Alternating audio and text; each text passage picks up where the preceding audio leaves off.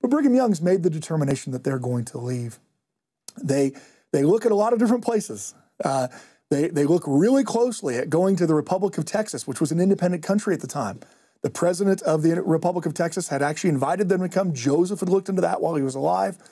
But once Texas is annexed to the United States, they drop that as an option because they feel like they need to get out of the United States. In the United States, whether it was in New York or Ohio or Missouri or Illinois, no matter where they went, even if it was a less populated part of the state, like Western Missouri and Western Illinois, it didn't matter. Because as a, as a persecuted minority group, as a hated minority group, it was always more politically expedient to, to be against them than for them. So their plan is to go somewhere else. And they settle on thinking on the Rocky Mountains. They plan to leave in the, the, the, spring of 1846. They plan to leave in April or May, which is would be that's intelligent. The, that's the time to that, leave. That's when you should start in your journey west. Um, but they actually leave with an even more bitter taste in their mouth than they had, than they had anticipated. So Thomas Ford, the governor of Illinois, who many Latter-day Saints do not like because of his involvement in Joseph's murder, um, he's not done yet hurting the Latter-day Saints. He will um, uh, lie to the Latter day Saints. He'll lie to Brigham Young and to the sheriff of the county and tell them that the federal government has decided to intervene and that they are sending an army to Nauvoo and they're going to arrest all of the apostles and they're going to gather up a bunch of the other saints and they're going to prevent them from leaving the country. Well, this, this is terrifying to, to the Latter day Saints. And imagine how frustrated they were. For a decade, they have been begging the US government to get involved to help them from their lands that have been stolen, people that have been murdered indiscriminately in Missouri and now in Illinois. And now finally the government's going to get involved. But to their detriment, it, it is an exasperating thing. But fearing, because Thomas Ford, and I'm not just saying Thomas Ford is a liar. Thomas Ford brags about being a liar. In his book, he writes in 1854, he's quite proud of himself. He's, he's excited about the fact that he lied so well um, uh, that, that the Latter day Saints, um, seeing no, no option, realize they have to leave in the dead of winter. And so they leave in February rather than waiting until it was spring. They leave before they're totally ready.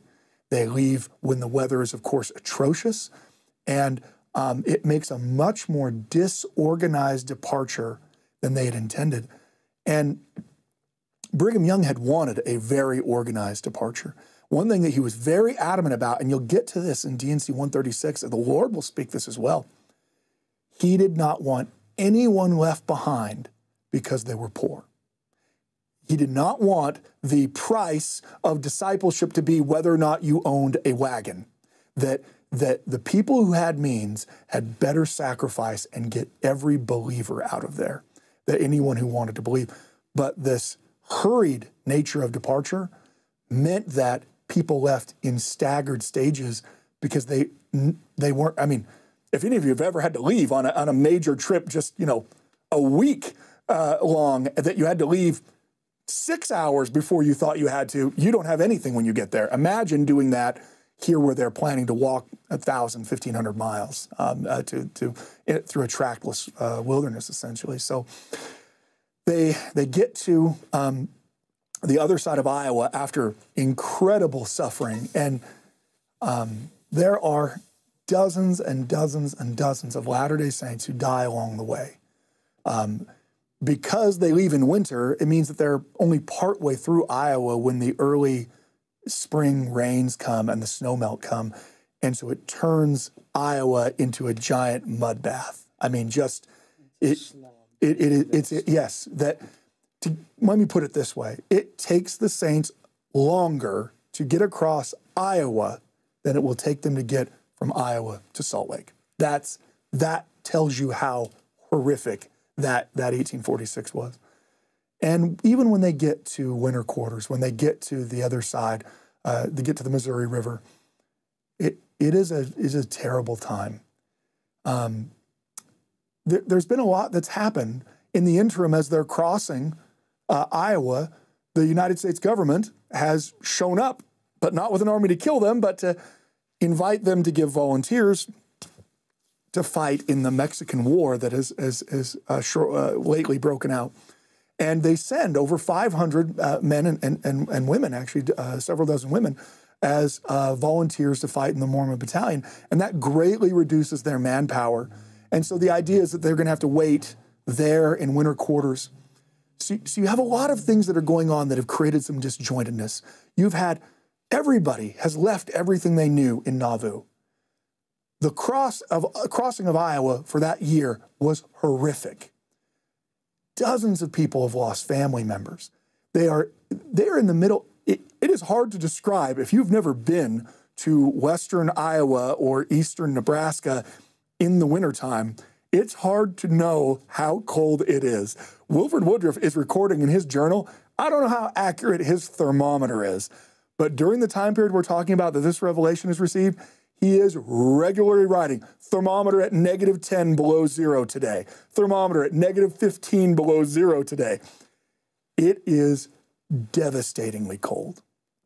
And um, as you might imagine, with how much struggle there had been, with how difficult things, with how much sacrifice people had made, and with the fact that people are readily, steadily dying here in this encampment, that people could start to murmur and start to say, well, maybe Brigham Young isn't the prophet who's supposed to be leading us. Maybe, maybe we should just go back. And some people did. Some people did and left and went back. Wilford Woodruff records in his journal just before this revelation. This revelation is received in January, uh, January 14th of 1847. In December of 1846, Wilford Woodruff uh, uh, records a meeting that's held where Brigham Young outlines some of the problems. Because it's kind of been this disjointed removal of the saints, uh, you have uh, a lack of organization, you have crime, you have people committing all kinds of sins. And Brigham Young lists them off to him. You must stop your lying. You must stop your thieving. You must stop your whoredoms. And then, uh, in a very Brigham Young esque fashion, says, Brother Joseph bore with you these things because he was a very merciful man, but I will not.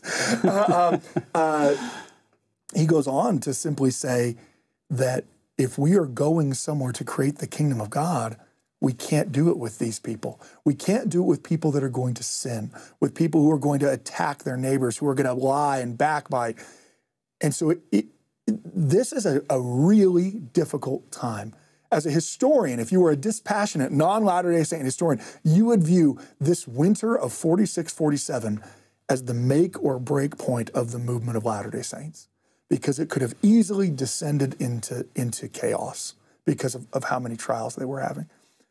So it's in that context that Brigham Young receives this revelation. Yeah, this is this is beautiful. The camp of Israel, right there on in winter quarters, when verse one, the word and will of the Lord concerning the camp of Israel in their journeyings to the west. To me, the most beautiful part about that isn't the fact that we get this revelation it's not to show that Brother Brigham's in charge. To the, me, the Lord's in charge. It's that the Lord's in charge, and, and he's now charge. going to yes. speak through yeah. Brother Brigham instead yeah. of through Brother Joseph. That to me is just it's profound that it's not the church of Joseph and it's not the church of Brigham and it's not the church of any subsequent prophet. It's the church of Jesus Christ, and he's giving his will through this this man at that time in that location in those very trying circumstances. Very difficult. Listen to the knowing what you know now about what's been going on. Listen to verse 2 in that context.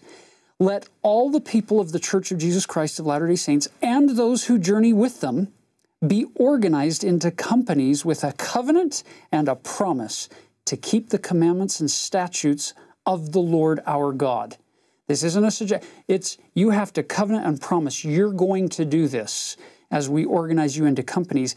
And then he gives this this organization structure of in companies of hundreds and with captains of 50 and captains of tens. And you've got a president and two counselors at their head. There's there's this very very specific hierarchical structure. He's using Captain Moroni's, uh, uh, you know, Cap, he's right? using, I'll give a captain of 100 and uh, and and also the the the fact that he is the Lord is is telling them that they need to make this renewed covenant to who they are. One of the things that Brigham Young said in his December sermon was that many of the Latter day Saints were actually justifying committing adultery, uh, stealing from their neighbor, um, because of all the horrible things they'd been through. That, that well, sure, I might have committed adultery, but I also lost my house back in Nauvoo. So I think we're even God kind of thing. And, and so I think you also see some of that come out in the Revelation as well. Yeah. So after he gives some just uh, direct instructions regarding um, the teams and the seeds and the farming utensils in order to plant the spring crops and making sure that we're we're not leaving the poor behind, it comes out as well. Listen to what he says in verse 17 and 18. Go thy way and do as I have told you, and fear not thine enemies, for they shall not have power to stop my work. Zion shall be redeemed in mine own due time. Have you noticed how God's prophets, even in the, the most terrible circumstances, I mean, this is this is a real low point. It's a low point for the saints. But you'll notice that there's not a doom and gloom mentality coming from God through the prophet. It's it's still planting those seeds of hope. It's giving them something to fight on to, to attain the Zion. It will be redeemed in mine own due time. Verse 19, and if any man shall seek to build up himself and seeketh not my counsel, he shall not have no power, and his folly shall be made manifest. I think Brother Brigham had a few people specifically in mind there when are he's, a lot of when he's people that are that trying to revelation. build themselves up. That's for sure. And